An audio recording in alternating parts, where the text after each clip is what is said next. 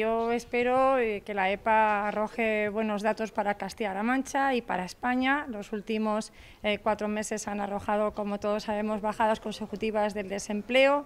Desde el mes de enero se ha reducido el desempleo en Castilla-La Mancha en cerca de 20.000 personas. Yo creo que es un dato muy importante para Castilla-La Mancha. En el último mes, pues cerca de 9.133 personas han dejado de estar en el desempleo. Fíjese, cerca de 300 ciudadanos de Castilla-La Mancha han encontrado un puesto de trabajo al día y yo creo creo que eso también hay que decirlo y que la gente también necesita que hablemos de esas, eh, de esas buenas noticias. Por lo tanto, yo espero que, la, encuesta, de población activa arroje un saldo positivo para el empleo en Castilla-La Mancha. Y es verdad, es verdad que en nuestros municipios de Castilla-La Mancha se ha incrementado el desempleo, pero yo también quiero detenerme sobre un aspecto eh, que creo que hay que destacar y que, por lo tanto, también hay que reflexionar.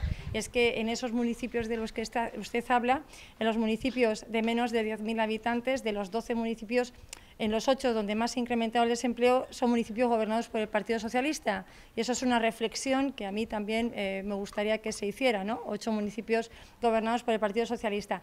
Y también tengo que decir, tengo que decir que el municipio donde más se ha incrementado el desempleo desde el año 2011 es el municipio de Toledo, que está eh, dirigido por el secretario general de los socialistas, por el señor García Paje. Es donde más ha incrementado el desempleo, en cerca de un 37%, y creo que esto también es algo que hay que reflexionar. Y no es una valoración del Gobierno o de la consejera, es, son datos objetivos, datos oficiales, y que por lo tanto pues también eh, creo que, que hay que decirlos y que algo también nos tienen que decir en cuanto a la gestión que tienen los alcaldes populares, como la alcaldesa de Albacete, y la gestión que tienen los alcaldes del Partido Socialista.